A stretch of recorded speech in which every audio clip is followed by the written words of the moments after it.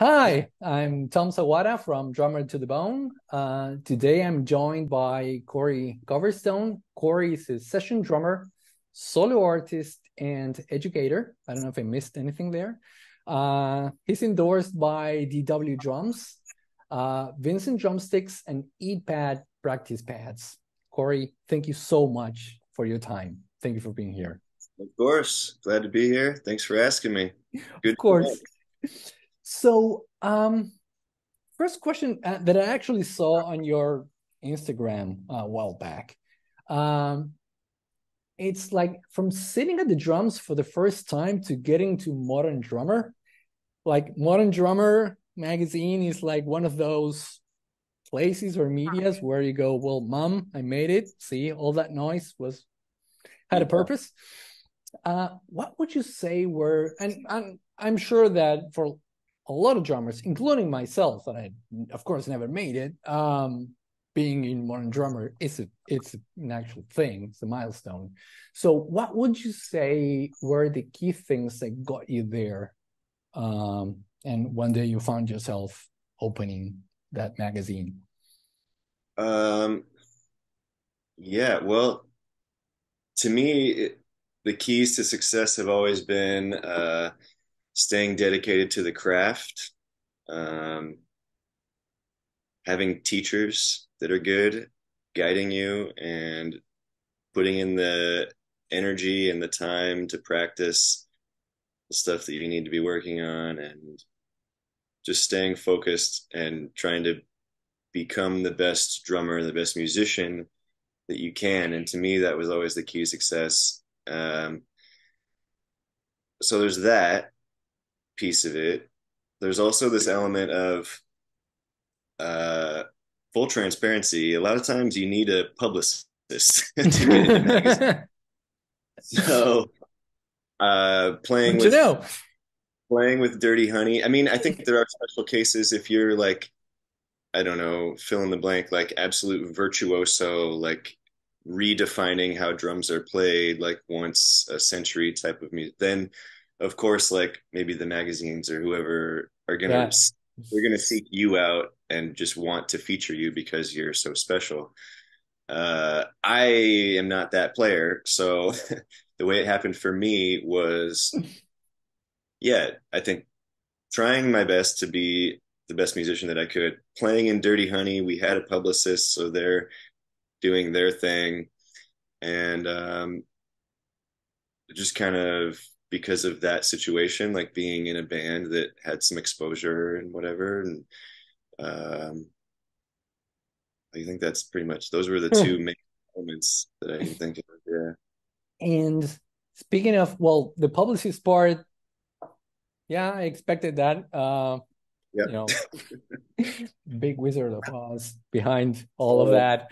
Uh, don't believe everything you see is publicists uh, behind that. But when you talk about well practicing the right things right? You you, you mentioned that. Yeah. Which yeah what what what do you think are the right things to practice? The right uh, things to focus on? yeah your time. I mean I, whatever it sounds obvious and uh, a lot of people talk about that but i think way fewer people actually execute that and do that in a way that is helpful. Does that if you're hearing this crazy sound right now, it's not ducks. It's actually the garbage truck. The gar- didn't hear a thing, so don't worry about it. Okay, cool. So, um, so you talk about time, and sounds obvious, but for some reason, it's not that obvious, and you usually find out when you're in the recording studio when you're playing. That's when you find oh okay maybe my time is not where it should be right? Exactly. Yeah. Yeah. I think uh it require working on your time and your feel requires um more of a it's not just turning on a metronome and playing. It's not that that can maybe help a little bit, but it really takes like dedicated focus and concentration on like I like working with a pad or actually just clapping with the metronome because then you're working with a sound that's not like a I don't know, maybe your snare drums has longer sound or you know, but you're working yeah. with a very staccato sound. The metronome is very staccato. You can hear exactly where you're putting the sound in relation to the metronome, which is presumably perfect time. if it's a good metronome. if it's a good metronome. Yeah. Right. Uh, but yeah, I mean, I, and and doing that like for hours and at specific tempos, there's this whole um, thing that uh, theory, I guess, that I was taught, uh, which has to do with my teacher called it tempo gravity. And this theory is basically, or the idea is basically just that the middle tempos, 100 BPM or so, are the easiest tempos. So you start there, and from there, the slower tempos and the faster tempos are the harder tempos that you work towards. And the tendency with slow tempos is that you want to rush back towards the middle tempos. The tendency with fast tempos, the tendency with fast tempos is to drag back yeah, towards yeah. tempos. So that's why he calls it tempo gravity towards medium tempos. Um, so I think if you go about it also in a systematic way of like starting in the middle, which is comfortable, and branching out, you know, slowly to these more challenging, challenging tempos. It's funny to say that because it's the same thing. It's it's an expression of the evenness of time and they're all it's the same across the, the same. board. Yeah. For whatever reason, yeah, faster and slower tempos. Uh, it's just harder to like with slow tempos to broaden your uh, conception of that those longer spaces between the pulses. Anyways.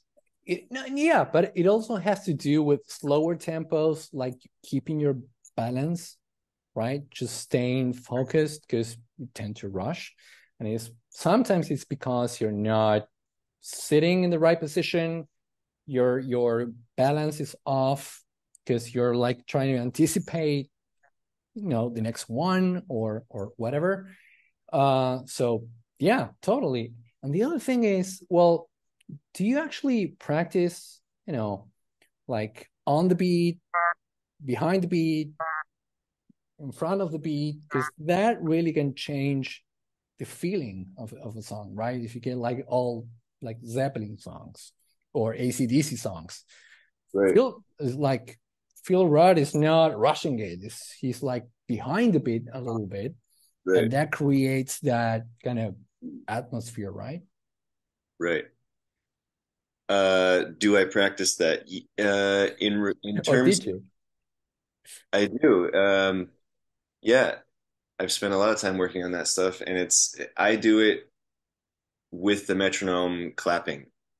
Right. So, you know, I I practice, and that's actually a good clapping intentionally behind the beat, the same distance behind each beat.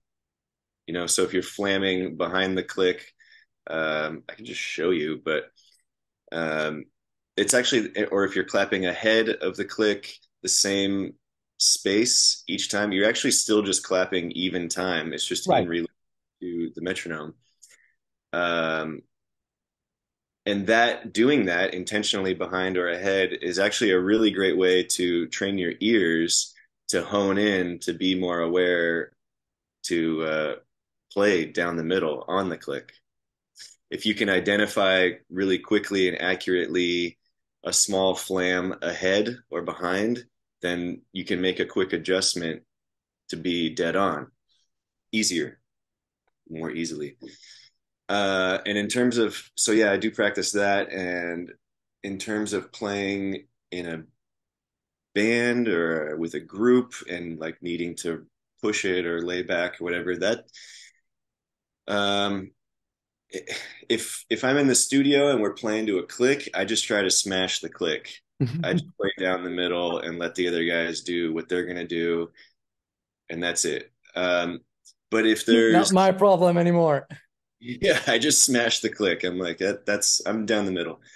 Um, and you know, in the studio, like if they want it to lay back a little bit, you can literally just grab the drum track and yeah, you know, just whatever. So I don't know. I mean, I think different people probably have different approaches. They would argue with me on that, but um, it's yours. that's that's what I do. Yeah.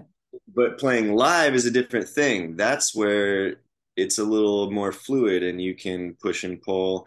And it that just comes from having the the skill like you have to practice that stuff to be able to have control over your time and where you're playing your sounds in the music. Um but it also comes from knowing like what type of music you're playing. If i'm playing like an up tempo like jazz thing that's got some attitude to it and the soloist horn player is like going for it then yeah maybe i think tony williams and i think Louis Hayes and I like push the time a little bit because that's the music. That's what that genre is. And vice versa, like you said, ACDC, like so it comes from listening and knowing what you're doing, what the music you're playing is, and how the other players play. Like everybody feels the time in their own way a little bit. So, you know, Justin with Dirty Honey, for example, was notorious for playing so far behind the beat. And that is a different ex- playing experience and mindset for me than uh, I don't know playing with I don't know some other bass player that down the middle or something, you know. Yeah, someone who's like very like, for example, like those very technical or very like Steve Billman. Rush, the guy, Steve Billman, fucking awesome bass player. and um, going to another thing that uh, I've seen in a lot of forums and a lot of places ask, and, and pre- probably the answer is pretty simple, but I don't know. What are the keys to get an endorsement? Because I know that 90% of drummers want an endorsement of some sort. So yeah. for drum gear, uh, what was your path to that? Was there a path to? Yeah, well, I mean, I think they're in music. They're with everything, endorsements included, that there's many paths and it's not just one way to go about it. Mm-hmm. Uh, you know, I was the same way when I was young and first starting out. My, I was like telling my teacher, I'm like, how do I get endorsements? I want, do I just message and like send them a CD or like, what do I do? And he was like, you got to have a gig. Like you have to, it's a business.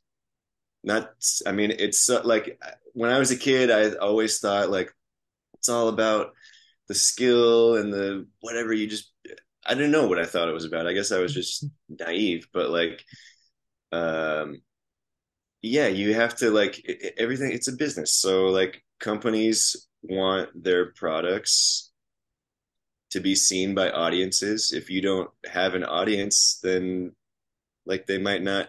But then there's the flip side of that. If you're like a virtuoso, like redefining how the instrument's played, then maybe that's your path or maybe you're uh, i don't know a super successful educator and that's your path like there are different facets my experience was i am not a virtuoso um, so i didn't have that. I wasn't like a super established educator or something.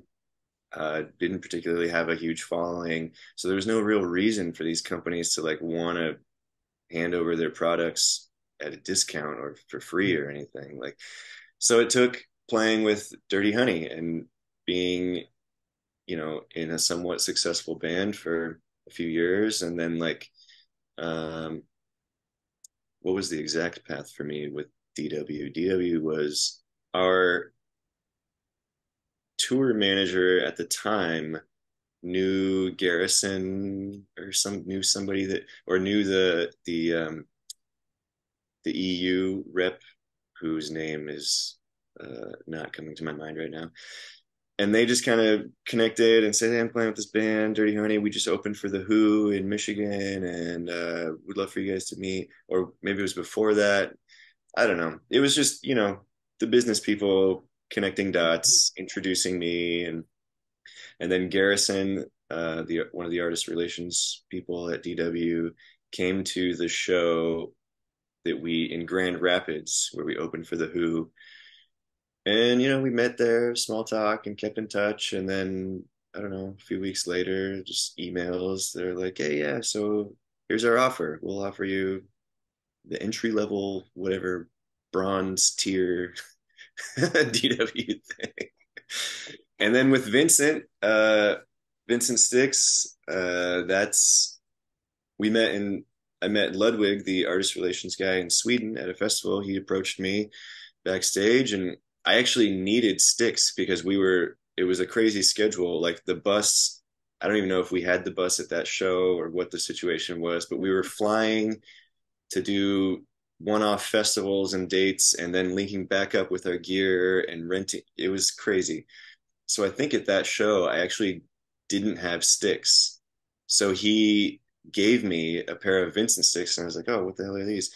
And it, was the um, what's the guy's name? Mikey d? Mikkey Dee? The drummer for the mm-hmm. scorpions? Yeah motorhead and yeah, yeah. it was his signature stick I was like, oh, okay. I play with two Bs usually, so I'm like, you need like fucking. Do you have any two Bs? But those were they felt really good. Like right off the bat, I was pretty impressed. And um, then yeah, we just kept in touch, and I think he, I think he reached back out to me at the beginning of this year, and uh, asked if you know I'd be interested in trying some samples, and I tried a bunch of their products and found that the 5B, I have one here. They have like a white 5B that it's kind of tacky. I like that. And um, yeah, so that's how that worked out. E-Pad practice pads. That was uh, which my computer is stacked on top of two of them right now. uh, that was through my first serious teacher, mentor, Nate Morton. He plays drums with um, always played drums with everybody, but he plays on The Voice, the TV show. He's yeah. Um, yeah, he introduced me to Ed, who owns the company, and um, just kind of put in a good word for me. So yeah, I guess there's like, you know, different paths. Like, I think ultimately, like, you just have to be doing stuff, you know, mm. for the companies to want to. Yeah, be- publicly be out there, have exposure, have it's a big part. And it, it, I don't know. To me, it's kind of like, oh man, like capitalism. Damn, like it's kind of a bummer, but it's kind of true. But that doesn't mean you can't have like a great relationship with these companies. Like I am fortunate to have, and blah blah blah. So you've mentioned um the Who. too transparent. uh, Love it. That's what we're looking for. Um, so you mentioned the Who, but you opened for bands like Guns N' Roses, Kiss, uh, Black Crowes. So besides the obvious size of these bands, and but in terms of how they conduct themselves on tour, where I guess you you met them, uh, their professionalism. What would you say you took away from those experiences? What which like elements or behaviors do you take away from those? Like uh-huh that's how the you know big bands do it the big artists do it. Yeah interesting. Um well they all do it a little differently in what i've seen. Guns N' Roses for example i mean they're fucking huge. So they have like intense security and like you know we we were also opening for them kind of around covid and there's still all that protocol mm-hmm. and stuff. And you know they wanted to be like very uh I, I guess by the books or careful about covid protocol. So i don't know. They were very during that time my experience with them was very strict i would say for example. And then on the contrary, with Kiss, we played a couple shows in Europe with them, and that was like the most relaxed, just didn't give a fuck. Like if we were in their dressing room area walking around, like what it, it was just totally like just a bunch of guys hanging out. um, Black Crowes were kind of similar, uh, just very relaxed. I guess like what did I take away from it? I don't know what I took away from it. It was just I don't know if I took anything away from it per Ooh. se. it was interesting to see, you know, and I definitely I'm sure. yeah, I don't know what else to comment that's... on about, but that's That's okay.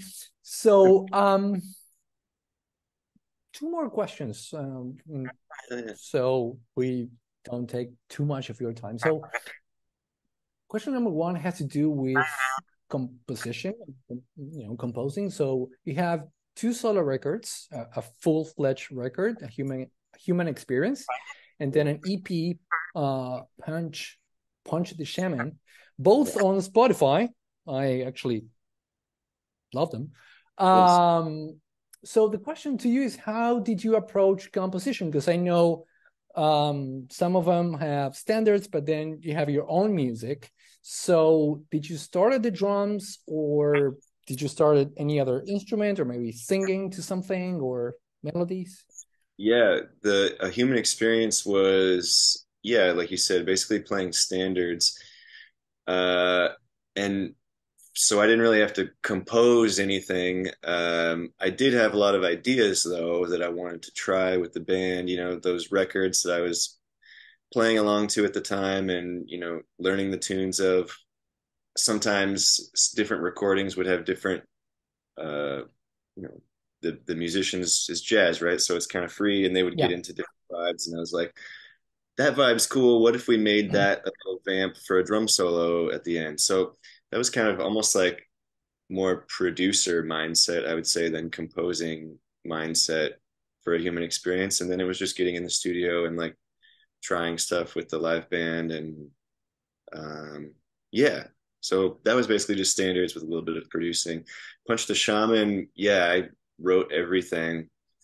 And for that, um, I it was a lot of with a MIDI keyboard in Ableton having a distorted guitar sound or a distorted Rhodes sound or like a crazy bass and um, just experimenting and like writing a little bass line or coming up with a little chord progression and thinking that sounds cool. All right, let me copy paste that. Oh, what if that? And then it's just in Ableton, it's so easy to have your little MIDI clips and like drag them around and cut and paste and then you create a whole new thing by accident or whatever and once the shaman? It was a lot of that. Um and i actually did like i think i did like eight tunes and then i decided that i only wanted to release three of them. But a, a lot of it also was presenting kind of the blueprint that i had. I midi demoed everything for punch the shaman. And what you hear on the record is a lot of uh, the musicians that I hired. It's their embellishment and it's their take on it. So they added a lot of very nice, in my opinion, colors and uh, tasty bits. Beautiful. And um, do you have a favorite or preferred mic setup, like condensers on the far corners? of the room or or something like that? Is do you have a go-to setup in terms of mics uh, when, when you're recording? In, in, well, I mean, if I'm in a studio situation and I'm being brought into somebody else's studio, yeah, in the I, studio, I don't have a say at all. okay, it's whatever they like. Maybe you know, on the second Dirty Honey record, um, I kind of commented like, "Oh, SM58 on the hi hat, huh?" Like, interesting thinking like that's probably not what have I what I would have reached for, but uh that's what they the producer liked and that's what the engineer liked and it worked and it's whatever. So yeah, in the studio I don't have a say, but in my little drum studio where I do tracks for people, um I mean I I do I experiment with um, you know, spaced pair overheads, condensers. That's always nice. Lately, I've been doing the uh, is it XY or yeah, the, yeah, on, on top. Yeah, of, yeah, basically. And then I have a little mono mic, uh, ribbon mic as a mono overhead mic. Pretty basic, honestly. Just everything's close mic'd, and then I have a room mic. Um, I I will say that because of working with Nick DiDia um, on the second Dirty Honey record, he had well, I think on the first Dirty on the EP too. He mic'd the toms top and bottom, which I always kind of thought like was unnecessary. The bottom tom mic, like what is that capturing? It's just more ring and like mud. Uh, but if you blend it right with the top mic, and obviously get the phase aligned, you have to invert the phase of the bottom mic. But um, it sounds nice. It's like adds a lot of beef to the tom, so that's become kind of a go-to setup for me is top and bottom tom mics, blending Beautiful. that. Together. Awesome. Right, Corey. So I don't want to take too much of your time. We've been like 45 minutes in total. Um, so how can people reach out to you? Uh, you give online lessons. I don't know if you give in-person lessons and recordings. So how um, drummers or other people can find yeah, you? if you want to reach out, I, I teach online. I teach privately. Uh, if you're in the Los Angeles area, you can reach out to me either through my website, ccdrumlessons.com. Send me a message. I'll get right back to you. You can reach out to me at Corey Coverstone on Instagram and Facebook. Um, yeah. Yeah. So you can contact me. Corey, thank you so, so much for your time. This has been fantastic. Thank you so, so much. Have Thanks. a beautiful day, everybody. Thank you, Corey.